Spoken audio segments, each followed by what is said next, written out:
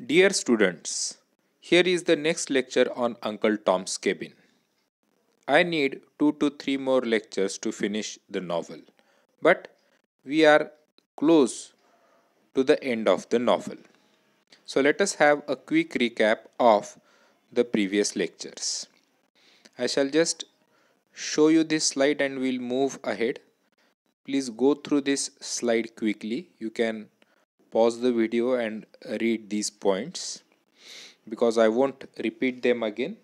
I have repeated these points in my previous lecture. Now, in chapter 10 to 16, we saw these events, these actions. Hope you remember them. Hope you have uh, watched and listened to my previous lecture carefully.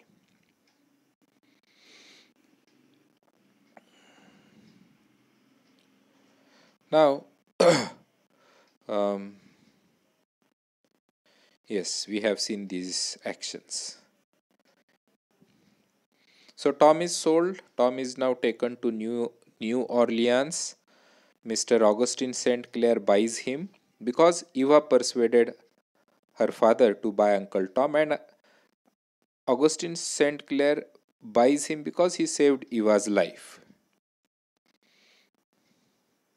Then we saw Mrs. St. Clair's attitude at the end of the lecture uh, previously. So, Mrs. St. Clair feels that it is the right of the white people to enslave black people and to train them because it is mentioned in the Bible. So, you will see many religious elements come into this novel because Harriet Beecher Stowe herself was a staunch believer in Christianity. She was a religious woman. Her father was a preacher in a church. So, Harriet Beecher Stowe sees everything from religious point of view. Thus, this novel has several religious elements in it. So, when Mrs. Bird remember mrs bird she we met her in uh, earlier chapter and she told her husband senator bird that the law of the god is higher than the law of mankind. We will follow the religious law and not the human law. So this also refers to harriet beecher stowe's uh, attention to the religion so, many religious elements are highlighted in the novel. Now, let us go ahead. Today, we will study these three chapters 17 to 19. Now, Eliza convinces George that he should behave like a true Christian. Uh, bitterness in George. Now, who is Eliza? I hope you remember Eliza. Eliza has run away from the Shelby plantation. She was also sold to Mr. Halley along with Uncle Tom. She ra- ran away from the plantation with her son. She successfully crossed the Ohio River and she took shelter in Senator uh, Bird's house. Finally, she meets George in the north and she realizes that no, uh, George, her husband, has bitter feelings against the landowners, especially against the white people in the south and she convinces or she tries to console her husband by saying that now uh, she should behave like a true christian. That is he should forgive the white people or he should forgive the people who have done injustice to him injustice to him. But raw george is filled with bitterness. He is very angry with the whole system and he want he is a true rebel he wants to fight back. But he cannot fight alone with the system with the plantation owners. But uh, he is very angry and his wife tries to console him. Now they decide to go to canada because george doesn't feel secure in the north too. Because the slave hunters would come anytime and would catch them and take them back. So they could could be kidnapped by the slave hunters and could be taken back to their plantation owners. So George suggests his wife that they should go to Canada to further north to another country and they could settle down there. Now, uh, these slave hunters are consistently, continuously after George and Eliza. And a constable has been appointed for this. His name is Mr. Locker. He is a policeman, he is a constable in the police. And somehow he finds uh, the, um, the father, mother, and their child, George, Eliza, and their child. And now he is about to catch them, about to bring them back to their masters. But as we know, George is strong and intelligent. George fights back with Locker. He is already angry with the white people. So when this constable comes to arrest him, George seriously wounds him and runs away. So you can see how much bitterness is filled in George.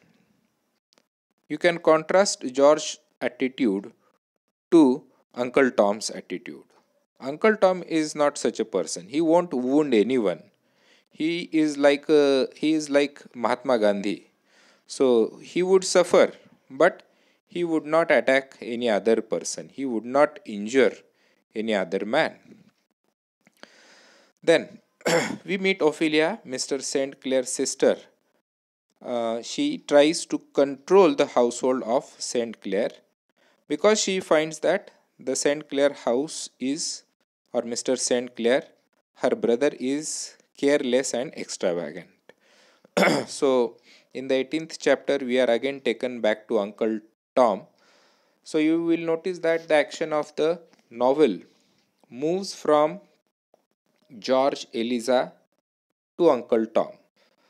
The writer purposefully contrasts these characters in the novel because she wants to contrast the attitudes of the black slaves against slavery.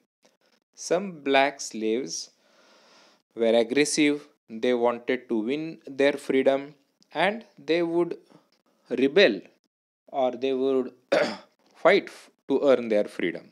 But some some slaves were uh, kind submissive and uh, you know polite like uncle tom. They have accepted the system and they want to rebel against it.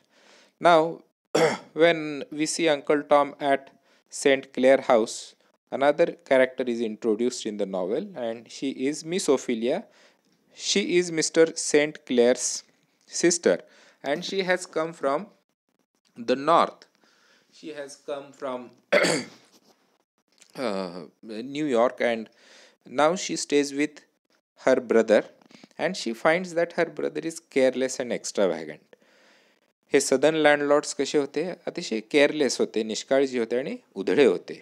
आणि या ओफेलियाला आपल्या भावाचं हे वागणं काही पसंत नाही. She realises that her brother doesn't pay attention to his plantation he doesn't know much about his slaves and he spends time in drinking and gambling so again the author shows you an incompetent plantation owner. He is also like Mr. Shelby. Now, interestingly, in chapter 9, Tom tells Mr. St. Clair how to spend money. This is really shocking. I find this is shocking because a slave, Uncle Tom, tells St. Clair, his master, his new master, how to behave how to handle the plantation म्हणजे आता बघा किती विरोधाभास आहे किती आयरनी आहे की एक सेवक एक गुलाम आपल्या मालकाला शिकवतोय की तुम्ही कसं वागलं पाहिजे? How should you handle your plantation how should you treat your slaves how should you earn more and more profit and how should you spend time तर तो आपल्या मालकांना सांगतोय की तुम्ही असं वागू नका.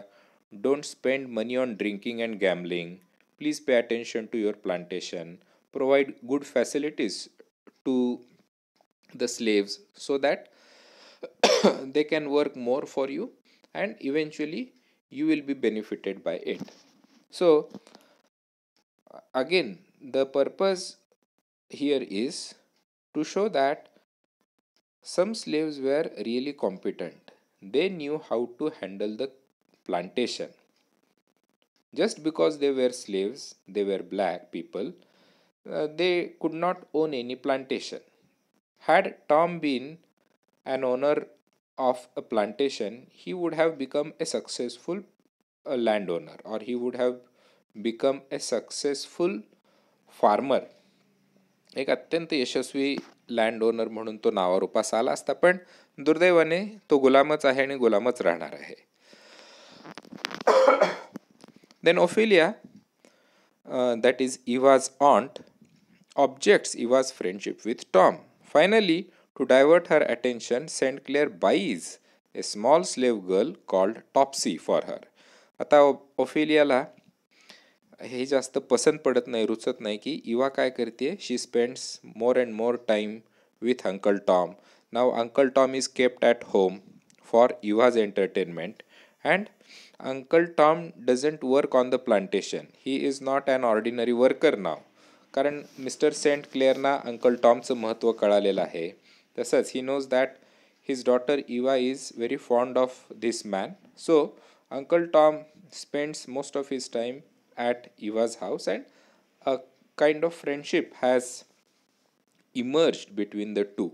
But Eva's aunt does not like this closeness of a white girl and a black slave. And just to divert her attention, uh, her brother mister Augustine Saint Clare by is another slave. जणू काय एखादं खेळणं विकत घ्यावं एखादी वस्तू विकत घ्यावी त्याप्रमाणे आपल्या बहिणीला खुश करण्यासाठी किंवा तिचं लक्ष इवा आणि अंकल टॉमपासून थोडंसं बाजूला नेण्यासाठी तो तिच्यासाठी एक दुसरी स्लेव विकत घेतो. टॉप्सी नावाची. She is also a girl of Eva's age In chapters 20 to 26, we see that St. Clair hands over Topsy to Miss Ophelia. She is a purchase. She is made to dance and Ophelia calls her heathenish आता या टॉप्सीला काय विकत घेतलं जातं बघा तर Mr Saint clear आपल्या बहिणीसाठी म्हणजे Miss ओफिलियासाठी she is unmarried we don't know why she is not married yet but since she lives alone she has come to her brother now it is probable that she will stay with her brother throughout her life तर या चॅप्टरमध्ये आपल्याला Harriet Beecher स्टो काय दाखवत आहेत की एक करमणूक म्हणून एक गमतीचं साधन म्हणून सुद्धा या गुलामांची खरेदी विक्री व्हायची. या छोट्या मुलीला एखादी वस्तू विकत घ्या घ्यावी त्याप्रमाणे विकत घेतलेलं आहे. And she entertains Miss Ophelia she dances for Miss Ophelia and Miss Ophelia finds her heathenish. Heathenish म्हणजे अतिशय ग्रामीण असंस्कृत आदिवासी अशा प्रकारची ही मुलगी आहे. असं ओफिलियाला वाटतं. Ophelia likes Topsy and she enjoys spending time with her so Mr St Clare's purpose ha has been served जो उद्देश होता टॉप्सीला विकत घेण्याचा तो त्यांचा यशस्वी झालेला आहे. नाव आता ही टॉप्सी काय करते बघा. She can only fetch water wash dishes and wait on folks here in her innocence and ignorance surprises Ophelia तर there is a comparison between Eva and Topsy Eva he Saint क्लेअरची म्हणजे white land ओनरची मुलगी आहे आणि Topsy is a slave तिचे parents कोण आहेत आपल्याला माहिती नाही आहेत पण तिलाही अशा प्रकारे आपल्या पॅरेंट्सपासून तोडून इथं आणलेलं आहे. दोघी साधारण एकाच वयाचे आहेत पण Topsy works Eva doesn't Eva just you know receives education at home she reads and writes plays games and she lives a comfortable life but Topsy काय काय करते बघा? शी फेच वॉटर पाणी आणणे भांडी धुणे तसंच uh, मालकांची folks white wait on folks म्हणजे um, आपल्या मालकांची कामं ऐकणे त्यांच्या पाठीवर उभं राहून ते सांगतील ती कामं करणे या सगळ्या गोष्टी ती करते. So Eva and Topsy although are of the same age their lives are different because it is the difference between the white and the black then Topsy touches Miss Ophelia's heart and Miss Ophelia in turn आता इथं एक प्रकारचं आई आणि मुलीचं नातं जणू काही तयार झालेलं आहे. कुणाच्यामध्ये तर मिस टॉप मिस ओफिलिया आणि Topsy. Although Topsy is a slave girl Miss Ophelia likes her tremendously and now she sees to it that Topsy also receive some education and some favours from her brother then uncle Tom meanwhile writes a letter to his wife Chlo. She wants to go to Louisville to earn redemption money आता अजून एक इथं मुद्दा हॅरेट Beecher स्टो add करतात. कोणता? तर redemption मन मनी म्हणजे मी तुम्हाला सांगितलं की या नॉवेलमध्ये Harriet Beecher Stowe shows us different aspects of slavery in America तर त्यातला एक आस्पेक्ट होता रिडम्शन मनी सुटकेची किंमत. सुटकेचे पैसे. म्हणजे in those days a black man could earn his freedom How? तर he could give the redemption money to his master आपली काय जी किंमत आहे हे आपल्या मालकांना विचारून घेऊन ती तेवढी रक्कम जर एखाद्या गुलामाने आपल्या मालकाला दिली तर तो आपल्या मालकापासून स्वतंत्र होऊ शकत असे. आता गुलामांना अशा प्रकारे पैसे स्वतःची किंमत विचारून तेवढे पैसे मालकांना देणं शक्यच नसायचं. Because they were slaves they didn't have fixed income you know they त्यांना फक्त काय मिळायचं? त्या ते शेतमजूर असल्यासारखेच काम करत होते. आणि आपल्या कामाचा मोबदला म्हणजे त्यांना अन्न पाणी निवारा एवढ्याच गोष्टी मिळायच्या पैसे काही मिळत नव्हते. So it was highly impossible for any slave to earn his freedom but Chloe wants to work in a factory in Louisville तर जवळच असलेल्या एका फॅक्टरीमध्ये काम करून एक्स्ट्रा काम करून पैसे मिळवावेत म्हणून आता चिल श्लो धडपडतीये. आहे Chloe is uncle Tom's wife so she has taken permission from Mr and Mrs Shelby to work extra to get extra money from from her work and to pay that money to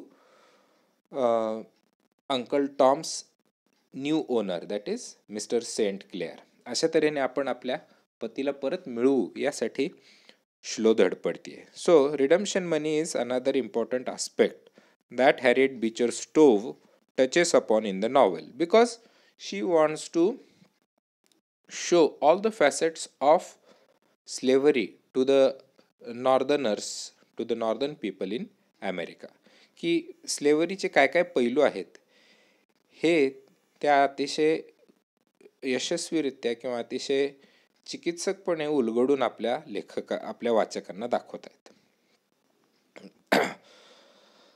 Meanwhile uncle Tom receives a letter from George that is George Shelby he and Eva talk about the heaven तर हा George Shelby जो आहे तो uncle टॉमना पत्र लिहून खाली खुशाली कळवतोय त्याच्या कुटुंबाची. आणि he says that he will buy him back eventually. Uh, then he and Eva talk about that is Uncle Tom and Eva talks about heaven. बघा ही छोटी मुलगी कशाबद्दल बोलते अंकल टॉमशी हेवनबद्दल बोलतीये generally children don't talk about God and heaven much but Eva is different she she has read or she knows Bible thoroughly. She is very much interested in religion and she often talks about heaven. Tom realizes with sudden horror that Eva has indeed grown thinner. Her cheeks and hands are often feverish and her cough grows worse every day. So, Eva's health has deteriorated. And Uncle Tom realizes the change in Eva's health की आता ती दिवसेंदिवस बारीक होत चाललेली आहे. तिचे तिचे गाल आणि हात नेहमी फिवरिश गरम असतात तापाने भरलेले असतात. तसंच her cough is growing every day so her health deteriorates every day and even knows that she will die soon, and maybe that is the reason why she often talks about the heaven. So, Eva is feverish and she is almost on her deathbed. Eva tells her father about her freed about her dream of freedom. So one day she tells her father that she saw a dream in which she was in the heaven and she was free from her sickness, her illness, and she was happy. Uh, that dream is her dream of freedom. Again, this is the foreshadowing of the forthcoming events, that is, Eva's death. So, little Eva dies in the 26th chapter, and it is a re- really heartbreaking scene in the novel to see Eva dying because Eva dies a dramatic death. Before she dies, she invites all the slaves on her estate or on her father's estate. They gather around her bed and she takes a promise from her father that after her death, her father should release these slaves from the estate. म्हणजे या छोट्या मुलीला किंवा या छोट्या मुलीची विचाराची उंची बघा ती किती मॅच्युअर आणि प्रगल्भ विचारांची आहे की ती आपल्या वडिलांकडून वचन घेते की तुम्ही या गुलामांना फ्री करा. ही गुलामगिरीची पद्धत तुम्ही पुढं कंटिन्यू करू नका. तर या लहान मुलीला सुद्धा या काळ्या लोकांना अशा प्रकारे वागवणं पटत नाही आहे so St Clare decides to set the slaves free and uncle Tom consoles him so in the next chapters from chapters 27 to 34 the plot moves further and now saint augustine saint clare is uh, very sad uh, because he has lost his daughter and he decides to set the slaves free because it was the will of her daughter.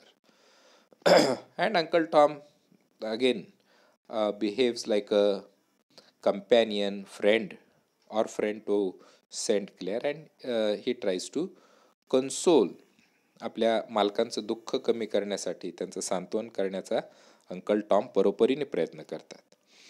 Now St Clare meanwhile spends his time reading the Bible he sets Tom free but Tom refuses to leave him बघा आता हे किती bonding वेगळं आहे बघा. की आता Saint क्लेअरची सुद्धा वृत्ती बदललेली आहे.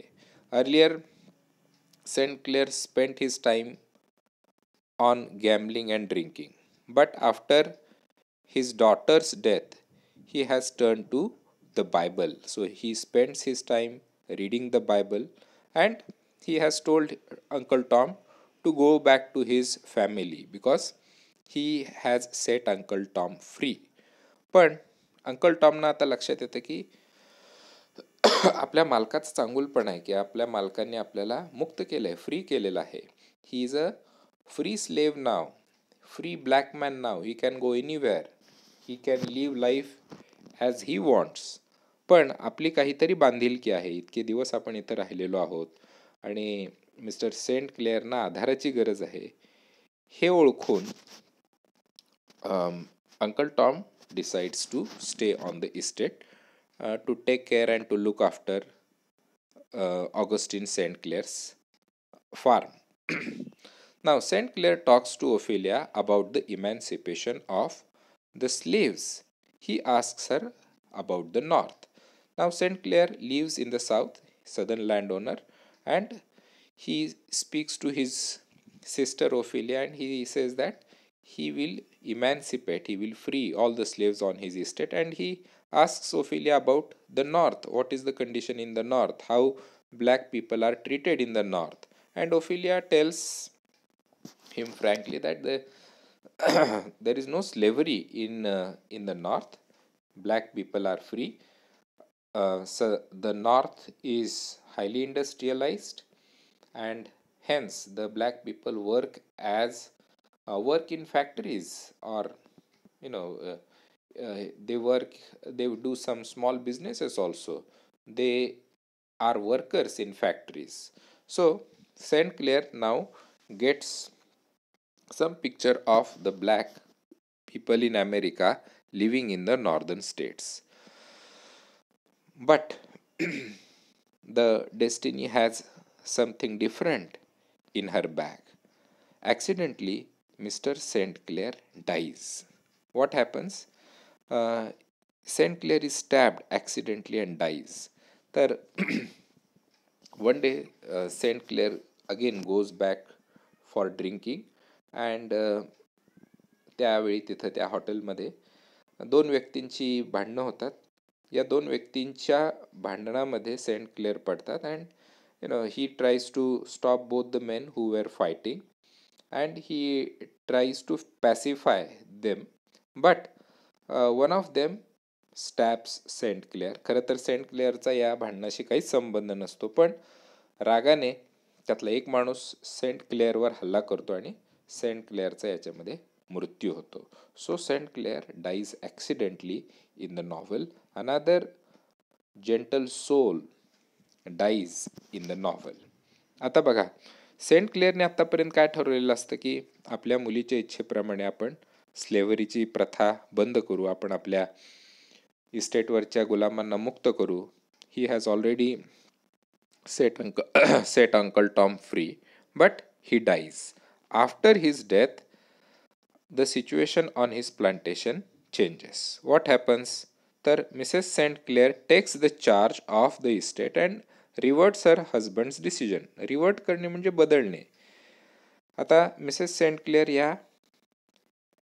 इस्टेटच्या प्रमुख बनतात. After her husband's death now she becomes the head of the estate आणि आपल्या पतीचा निर्णय त्या पूर्णपणे बदलतात. म्हणजे आतापर्यंत या गुलामांनाही कळालेलं असतं की लवकरच आपण मुक्त होणार आहोत. पण अजून त्यांना काही तसं स्वतंत्र केलेलं नाही आहे आणि Mrs St Clare says that no I shall not make I shall not set these Gul these slaves free so she decides to sell some of the slaves to pay off the debts म्हणजे Shelby प्लांटेशनवर जो प्रश्न होता तोच इथंही आहे. The St Clare family is in debts he Saint Clare family कशात आहे? कर्जात आहे. D E B T S debts कर्ज. आणि कर्ज भागवण्यासाठी आता ते सुद्धा काय करतात? गुलामांची विक्री करायचं ठरवतात. So mrs saint Clare decides to sell off some of the best slaves on her estate because these slaves will give her a good amount of money which she can use to pay off the debts कर्ज भागवण्यासाठी याचा ते उपयोग करतील. त्याप्रमाणे काही गुलामांची विक्री होते आणि त्याच्यात अंकल टॉमचा सुद्धा नंबर लागतो. So uncle Tom is taken to the slave market and he is sold again in the novel so uncle Tom is sold twice in the novel first mister Shelby sold him then Saint August Clare he didn't sell him actually his wife sold him and now Segri, uh, sorry, Uncle Tom falls in the hands of Simon Legree. Simon Legree buys Tom. On the boat, he threatens to he, he threatens Tom not to read the Bible. म्हणजे आता बघा दोन चांगल्या plantation owner दोन चांगल्या मालकांपासून आता uncle Tom एका अतिशय वाईट हिणकस आणि दुष्ट प्लांटेशन ओनरच्या हातात जातात. सिमॉन लेगरी हा मालक कसा आहे? हा एक प्रकारे व्हिलनच आहे. एक प्रकारे नाही तो खरं व्हिलनच आहे. त्याचा एकूण attitude he is a white land owner and he feels superior to or he feels better than the black people he considers himself far better than the black people so Here, Harriet Beecher Stowe shows you some wicked plantation owners in the south आतापर्यंत Augustine Saint clear आणि mister Shelby यांच्या मार्फत Harriet Beecher स्टोवने आपल्याला kind plantation owners किंवा slave owners दाखवले होते. White people but they were very kind towards their slaves but through Simon Legree she shows another side of slavery that is some white people white landowners white slave owners were not good human beings. They treated their slaves inhumanly. तर याची सुरुवातच कुठं होते when Simon Legree buys uncle Tom and he is taking him to his estate on the way on the boat when uncle Tom he sees uncle Tom reading the Bible he tells him not to read the Bible हा लिग्रेस Simon Legree टॉमला काय सांगतो की बाबा रे you are a black man you are a slave and you are not suppose to read the Bible and he threatens uncle Tom that if he sees him reading the Bible again he will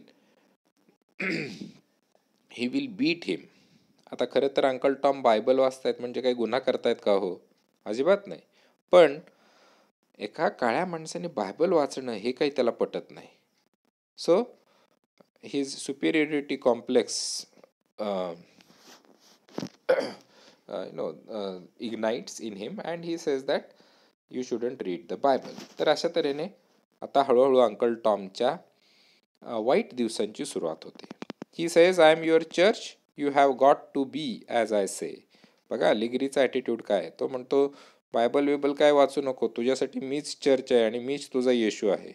So you shouldn't read the Bible forget the religious book and just obey me Legree is a drunkard and hence more dangerous आता Legree किती dangerous आहे आपण नंतर पाहणारच आहोत पण the writer shows her evil side that he is a drunkard तो दारूड आहे.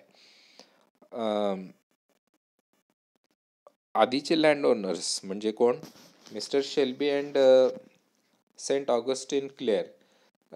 They also spend their money on drinking but they were not drunkard like Legree is so Tom is now at a devilish master and Eva's spirit console him आता टॉमला खरोखर वाईट वाटतं की आपल्याला ज्यावेळी मुक्त केलं होतं त्याचवेळी जर सेंट ऑगस्टिन क्लेअरने आपल्याला फ्री केलं होतं त्याचवेळी आपण जर आपल्या फॅमिलीकडं शेल्बी प्लांटेशनकडं गेलो असतो तर बरं झालं असतं but now he doesn't have choice and he realises that he is with a wicked bad master and sometimes In his sleep, in his dream, Eva's spirit comes and consoles him.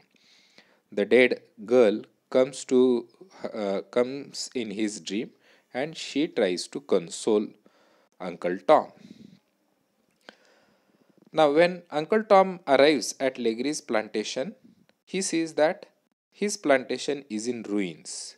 Weeds everywhere and the windows are broken. आता अतिशय गलिच्छ आणि अतिशय अस्ताव्यस्त पडलेल्या प्लांटेशनवरती म्हणजे शेतावरती तो येतोय हे प्लांटेशन कसं आहे रुईन्समध्ये आहे म्हणजे अक्षरशः त्या प्लांटेशनमध्ये असं म्हणजे चांगली शेती किंवा चांगली शेती पिकलेली आहे सगळं व्यवस्थित आहे. असं काही नाही. तर सगळं मजुरांची घरं तिथं मोडलेली आहेत. मजूर झोपड्यात राहत आहेत. प्लांटेशनसुद्धा चांगल्या अवस्थेत नाही. अशा ठिकाणी अंकल टॉम कम्स सगळीकडे गवत पसरलेलं आहे आणि या घराची दारंसुद्धा किंवा खिडक्यासुद्धा मोडलेल्या आहेत. कुणाच्या लेगरीच्या स्वतःच्याच प्लांट म्हणजे तो मास्टर जो आहे मालक जो आहे तोच अशा थोड्याशा मोडक्या तोडक्या घरात राहतोय. मग मालकाची अवस्था जर अशी असेल तर त्या प्लांटेशनवरच्या मजुरांची काय अवस्था? त्याचा विचार न केलेलाच बरा.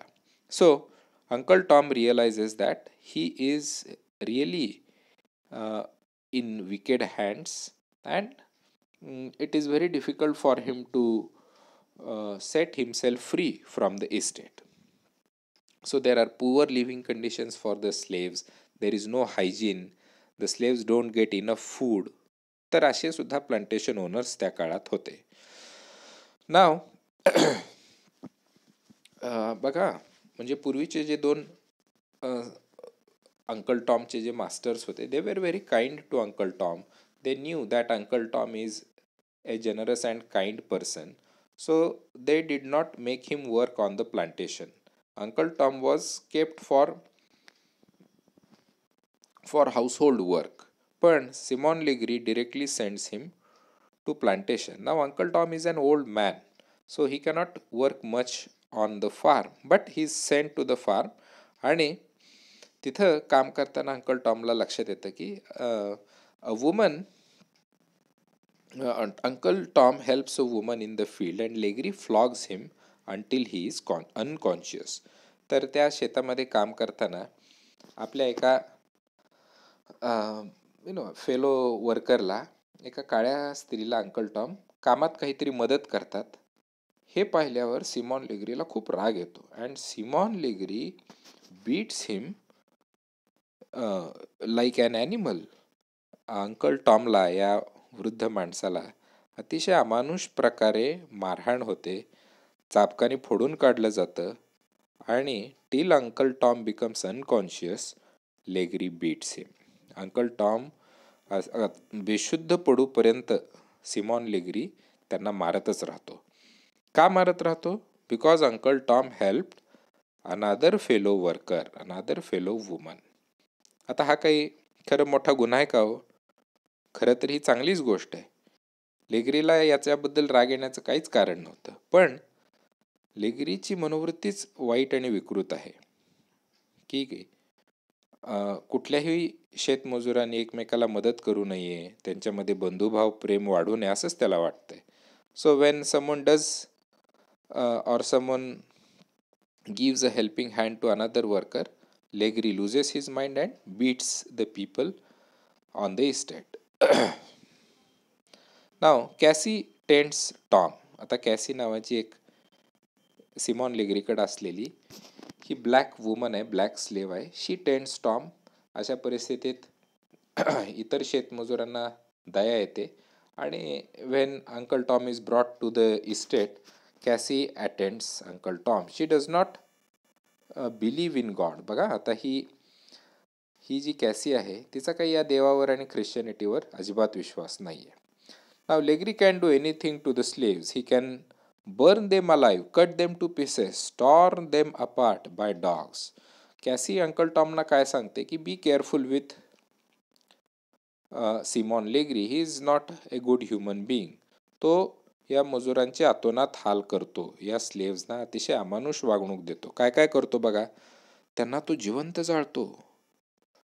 त्यांचे ही कट देम टू पीसेस त्यांचे तुकडे तुकडे करून त्यांना ठार मारतो. तसंच कुत्र्यांकरवही त्यांना ठार मारतो. म्हणजे कुत्र्यांना सुद्धा अन्न म्हणून या स्लेव्सना खायला घालतो. तर Cassy tells uncle Tom to be careful with Legree. Legree is unique. He is not like any other plantation owner.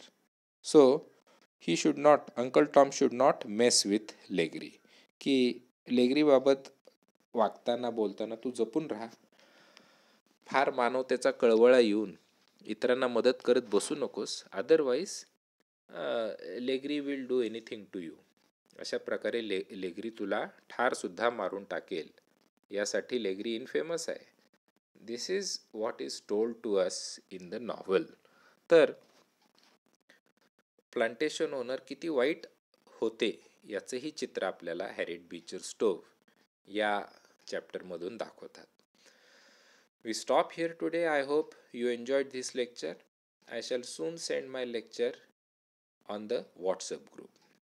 Please attend these lectures carefully and uh, write your name and comment in the chat box after you watch the lecture. And if possible, please give your feedback on the lecture. Thank you.